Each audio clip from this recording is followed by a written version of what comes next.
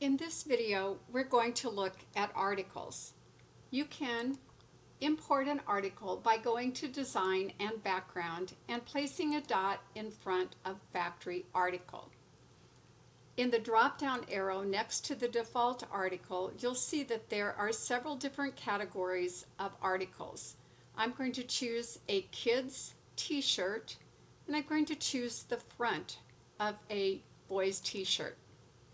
I can change the color by clicking on the drop-down arrow next to color, choosing my color and clicking OK.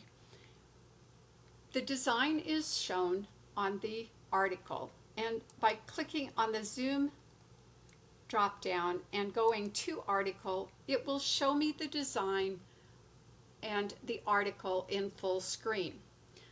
The design is automatically placed in the center of the article, but I can select that design and drag it and place it where I want the design to be. By changing the position of the x-axis to zero and pressing enter, that is going to move the design to the center of the article.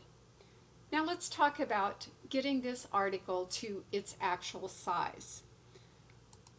First, I'm going to activate the measuring tool in the software by clicking on the M on the keyboard.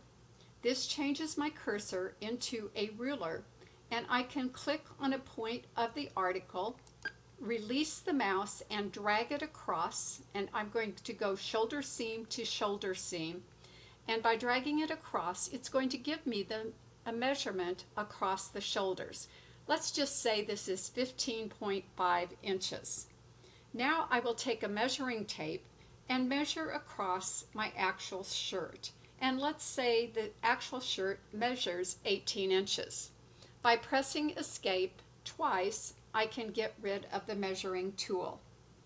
Let's go in to our programs, accessories, and calculator, and we'll do some math to determine how much to increase the size of the t-shirt. I enter the measurement of the actual t-shirt and divide that measurement by the measurement that I got on screen. And when I select equal, it's going to give me the percent of increase. I'll close that out, so I'm going to have to increase the size of the article to 116%. I go back into the design view in the background and I'll change the scale of the design to 116%. And when I press OK, the t-shirt will grow in size.